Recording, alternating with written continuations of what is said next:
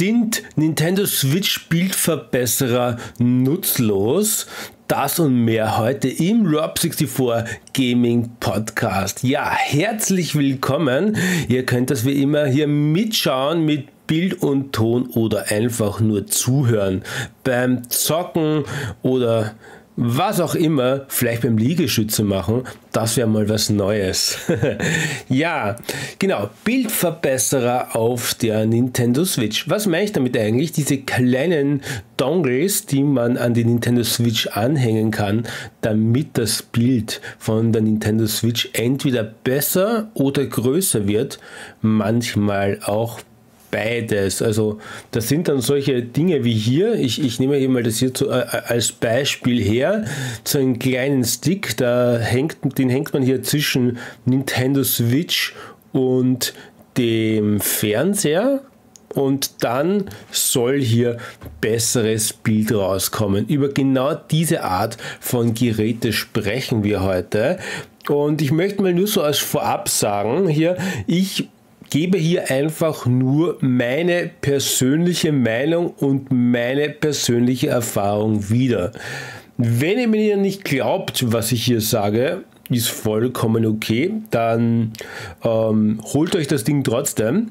Und wenn ihr glaubt, ich wurde bezahlt dafür, dass ich das sage, würde keinen Sinn ergeben, weil ich werde hier wenig Positives über diese Dinge sagen. Und warum sollte mich da jemand dafür bezahlen, dass ich sage, ähm, dass das nichts bringt? Achtung, Spoiler.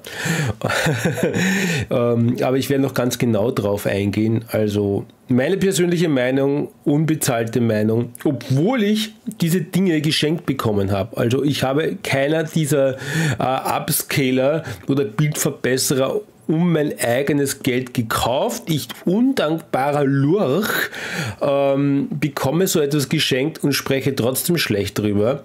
Ähm, ja, selber schuld, dann schickt mir so etwas nicht, wenn ihr nicht wollt, dass ich ehrlich da meine Meinung dazu äußere.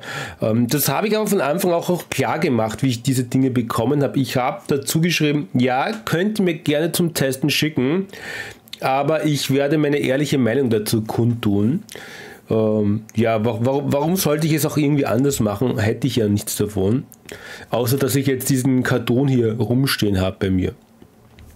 Aber fangen wir mal ganz von vorne an. Ähm, was versprechen uns eigentlich diese Upscaler, diese Dongles, die die Switch-Grafik besser machen wollen? Übrigens, ich spreche hier nur von besser machen des Nintendo Switch-Spieles. Ich rede nicht hier von irgendwelchen anderen Konsolen. Das habe ich alles nicht ausprobiert. Das interessiert mich auch alles gar nicht. Ich interessiere mich von und für ähm, Upscaling bzw. Bessermachen von Nintendo Switch Grafiken. Zu allem anderen kann ich nicht sagen, will ich nicht sagen. Äh, das dürfen andere testen. Ähm, ich spreche hier nur von Nintendo Switch Upscaling. Ja, Nintendo Switch hat einen Ausgang von Full HD. Also das Beste, was ihr aus einer Nintendo Switch rausbekommt, egal ob Nintendo Switch oder Nintendo Switch OLED. Das Maximale, was ihr an euren Fernseher oder Monitor rausschicken könnt, ist Full HD. Das gleiche gilt natürlich ähm, nicht für die Switch Lite, weil die könnt ihr ja nicht ähm, an den Fernseher anschließen. Da macht das keinen Sinn. Also wir sprechen hier von Nintendo Switch OLED und der normalen Nintendo Switch, die man an den Fernseher weiterleiten kann. Natürlich, weil man muss ja den HDMI-Anschluss hier reinstecken und die OLED und die normale Switch sind die einzigen, die das haben. Und wo man auch am Fernseher spielen kann.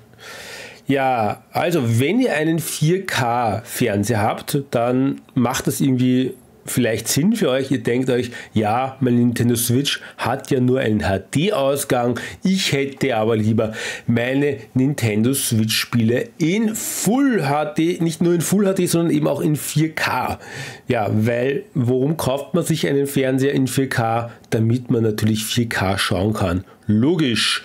Und die Switch haut halt eben nicht genug Auflösung raus und da kaufen sich dann die Leute halt diverse Geräte dafür, Was aber eigentlich nicht notwendig ist, weil ihr könnt an einen 4K-Fernseher ein HD-Gerät anhängen. Also ihr könnt einen normalen Nintendo Switch, einen Nintendo Switch OLED ganz normal an euren 4K-Fernseher anhängen und seht dann das Bild von der Nintendo Switch, so wie es halt rausgehauen wird, eben in Full HD. Funktioniert problemlos ohne Dongle. Ihr könnt also beruhigt sein und auf euren 4K-Fernseher mit der Nintendo Switch spielen, ohne dass ihr irgendetwas zusätzliches kauft. So, manche Fernseher, es gibt TVs, die können Upscaling. Also manche Fernseher haben da Filter eingebaut, die bisschen besseren, teureren vielleicht, wenn ihr denen mit einem HD-Signal kommt, gibt es Modelle, die können das verbessern und das Ganze sieht dann geringfügig besser aus. Die machen dann, nehme ich mal an, was ähnliches wie diese Dongles hier, die man kaufen kann. Nur, dass das halt der Fernseher dann selbst macht. Also, bevor ihr euch vielleicht so einen Dongle zulegt, überlegt mal oder schaut mal nach in eurer Fernsehbeschreibung, ob das euer 4K-Fernseher nicht zufälligerweise sowieso schon kann. Weil dann wäre das ein bisschen verbranntes Geld, sagen wir mal so. Dann gibt es sogar 4K-Fernseher, die können nicht nur das Upscalen, sondern die können das Bild auch verbessern, beziehungsweise haben dann oft auch einen Gaming-Modus oder einen Retro-Gaming-Modus. Auch das habe ich schon bei Fernseher, ich glaube, es war ein, Sam, ein LG oder Samsung war das, glaube ich, ich weiß nicht. Ist auch egal, ich möchte auch gar keine Fernsehmarkenwerbung machen. Es gibt auf jeden Fall diese 4K-Geräte, die eben diesen Gaming-Modus haben der nicht nur für schnellere Bilddarstellung da ist, sondern oft auch, auch Upscaling macht, insbesondere wenn der Fernseher so einen Art Retro-Modus hat. Wie gesagt, auch das gibt es. Vielleicht mal im Menü durchklicken oder die Beschreibung durchwälzen vom 4K-Fernseher, ob es da nicht irgend so eine Option gibt und man sich so ein Dongle ähm, sozusagen sparen kann. Also soweit zum Vielleicht braucht ihr das gar nicht, vielleicht habt ihr das ja schon. Und dann kommen wir mal zu den Modellen, die ich ausprobiert habe. Also ich habe hier ausprobiert den M Classic, das ist dieses Ding hier. Ich, ich halte es euch mal in die Kamera. Den M Classic habe ich ausprobiert. Dazu habe ich auch ein Video gemacht, das verlinke ich euch am Schluss noch. M Classic, dazu habe ich ein ausführliches Video gemacht. Also ich habe mir echt viel Mühe und Zeit gegeben, um dieses Gerät zu testen. Und dann habe ich den hier auch noch bekommen. Kurz darauf wurde ich angeschrieben und da wurde mir dann dieser hier zugeschickt. Ähm, von, der ist von PhotoFast 4K Enhancer, also ein Bildverbesserer auf 4K, auch speziell wieder für die Nintendo Switch. Es steht halt auch drauf, ähm, Wii U, PlayStation 4 und naja, es muss halt irgendein altes Gerät sein und irgendein Gerät sein, das kein 4K hat, aber natürlich einen ähm, HDMI-Anschluss. Sonst geht das Ganze ja nicht. Und da gibt es nicht so viele. Eben die Switch, PS4 und Wii U wird hier angepriesen. Ähm, ja, das gleiche gilt natürlich auch für den M Classic. M Classic und, und diese, diese zwei Geräte unterscheiden sich ein bisschen, weil der M Classic zielt eher so ein bisschen auf die Retro-Schiene ab. Der hat da auch einen eigenen Modus extra nur für Retro-Spiele, ähm, was vom Filter her dann erstens einmal nicht 16 zu 9 rausgibt, sondern eben das, dieses 4 zu 3 wie bei den alten Fernsehgeräten. Und außerdem ist er dann darauf ausgelegt, die Pixel scharf zu machen. Also ist dann eher auch für Pixel Games. Und da hat der einen eigenen Modus. Das hat dieses Ding hier nicht, muss man sagen. Das hat dieses Ding hier nicht. Ähm, ja, so viel, so weit, so gut. Ich habe die beiden ausprobiert und ich musste feststellen, vor allem, was hier auch hier versprochen wird, es wird hier nicht nur das Upscaling, also das Aufblasen von HD auf 4K versprochen, sondern es wird ja auch versprochen hier, ähm, dass hier Anti-Aliasing oder dass das Bild besser wird, dass die Kantenklettung besser wird. Wird ja hier auch versprochen. Ich habe das bei beiden ausgetestet und das stimmt. Die Kanten werden geglättet. Ich frage mich nur, ob das irgendjemand sieht. Also ich habe es ausprobiert auf einem wirklich großen 4K-Fernseher. Also der war riesig. Ich kann euch jetzt nicht die Zollanzahl sagen, weil ich weiß es nicht. Ich war da extra bei einem Bekannten, der sich so einen riesen Wuscher ins Wohnzimmer gestellt hat. Und also wir reden da von einem massiven 4K-Fernseher. Also so, ich weiß nicht, ob man was Größeres zu kaufen kriegt und ich weiß auch nicht, wofür man so einen großen Fernseher braucht. Aber das ist vielleicht eine andere Geschichte. Aber auf, auf einem massiv großen 4K-Fernseher ausprobiert und alle, also beide Sticks ausprobiert auf diesem riesen 4K-Gerät und ich muss sagen, also ja, Kantenklettung ist da, man sieht es besonders im Menü zum Beispiel von der Switch dass hier, wenn das Bild so massiv viel größer gemacht wird, die Kanten ein bisschen runder aussehen. Um, ähm, ja, also da merkt man es deutlich. Im Spiel selbst habe sowohl ich als auch der Assistent nichts gemerkt. Also ich war nicht der Einzige, der das ausprobiert hat.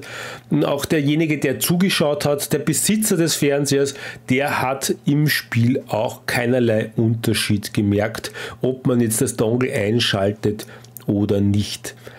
Ähm, ja, also wir drei haben keinen Unterschied bemerkt bei beiden, bei, bei beiden Geräten. Also im Blindtest konnten wir nicht sagen, ob das jetzt eingeschalten ist oder nicht. Also einer schaltet es ein oder schaltet nicht ein, fragt den anderen, ist das Ding eingeschalten, ist das Ding nicht eingeschalten, der andere antwortet. Es war uns nicht möglich herauszufinden, ob es eingeschalten ist oder nicht. Und das bei beiden Dongles. Jetzt könnte man natürlich sagen, ja, vielleicht seid ihr alle drei blind. Ja, kann sein. Ich brauche eigentlich normalerweise keine Brille. Ähm, jetzt werden vielleicht andere sagen, noch. Aber ähm, ja, also wir haben es alle nicht gesehen und da sind auch ähm, einer der, einer der Tester, sagen wir mal so, war unter 20, also hat noch ganz frische Augen und hat den Unterschied beim Zocken auch nicht gemerkt. Jetzt werden welche sagen, welche Spiele habt ihr denn ausprobiert? Wir haben einiges ausprobiert. Wir haben Zelda ausprobiert, also Zelda Tears of Kingdom haben wir ausprobiert, wir haben No Man's Sky ausprobiert, wir haben Mario Kart ausprobiert. Und irgendwie, ja, also wir konnten keine für uns sichtbare Verbesserung ähm, sehen. Ja, das ist das Fazit. Wir konnten auf dem riesengroßen 4K-Fernseher keine Verbesserung sehen. Was jetzt nicht heißt, dass das Ding nichts macht, weil im Menü selbst haben wir es ja gesehen. Also das Ding macht etwas. Also ich behaupte hier nicht, dass dieses Ding nichts tut. Dass diese Dinge tun irgendetwas. Aber es ist meiner Meinung nach im Spiel selbst auf großen Fernsehen nicht sichtbar. Aber warum gibt es dann so viele Videos da draußen im Internet, die behaupten, dass diese Dinge voller heiße Scheiß sind? Ich sage das jetzt einfach mal so. Also sowohl der M Classic auch als der Enhancer hier. Das, da gibt es noch tausend verschiedene andere Produkte, die machen alle das gleiche mehr oder weniger. Und ja, warum behaupten die, dass das voll was bringt, dass man einen Unterschied sieht? Ich, weiß ich nicht. Kann ich ja nicht sagen, warum. Vielleicht kriegen die Geld. Ich habe kein Geld bekommen dafür. Aber was ich noch viel eher glaube, ist, was auch ich bemerkt habe.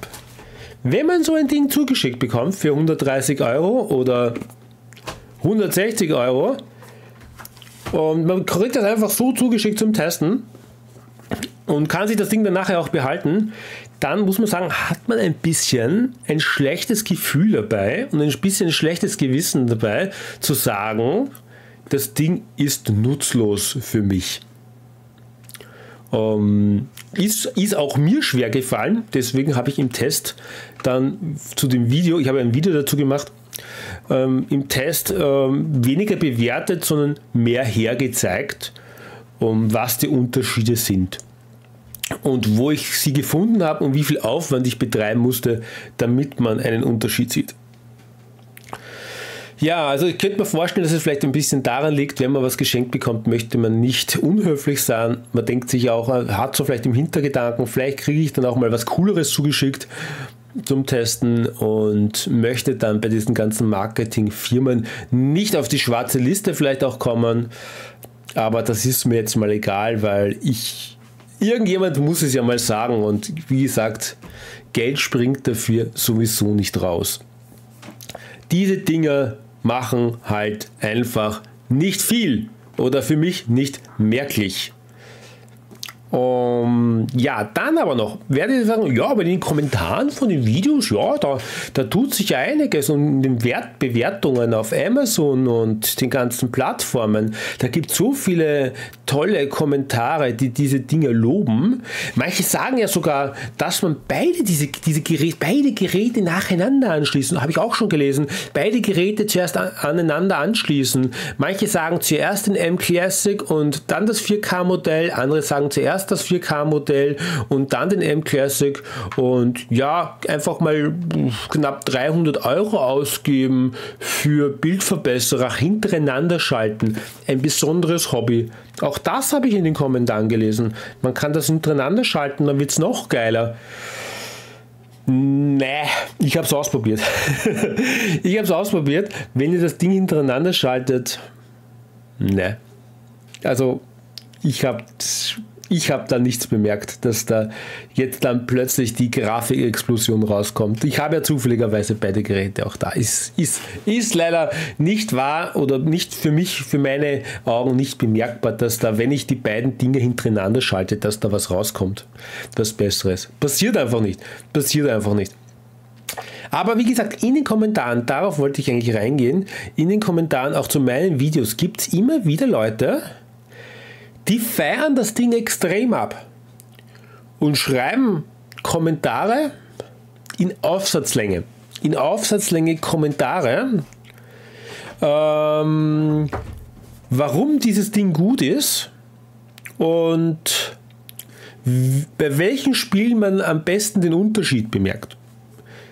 Endlose Kommentare, also wirklich lange Kommentare werden da geschrieben, Aufsätze kleine Masterarbeiten, okay, ich übertreibe, aber wirklich lange Kommentare, ausführliche Kommentare. Und das schreibt kein normaler Mensch. Meine Behauptung, ich behaupte einfach, kein normaler YouTube-User setzt sich hin und schreibt ein endlos langes Kommentar, wie geil dieser Upscaler ist, wenn er dafür nicht irgendwas hat. Also also kein Mensch schreibt zum Spaß so lange ähm, Aufsätze, dass das geil ist, das Teil. Wenn ich ja in dem Video nicht mal behaupte, dass es nicht geil ist, sondern einfach nur herzeige, wie wenig es macht. Und dann setzt sich einer rein und man muss aber dazu sagen, diese Kommentare sind immer sehr positiv gehalten. Diese Kommentare sagen nie, das Video ist kacke, das du gemacht hast, das stimmt so alles nicht. Ähm, nein, die sind sehr positiv gehalten, marketingtechnisch sehr klug, sondern sagen, schreiben sozusagen eigene Erfahrungen, wie gut dieses Ding ist. Ich habe so ein bisschen das Gefühl, ich weiß es nicht, ich kann es nicht, ähm, ich kann es natürlich nicht beweisen. Ich habe ich hab auch keine Lust, da jetzt irgendwie investigativ reinzugehen. Das ist nicht der, der Sinn von diesem YouTube-Kanal hier.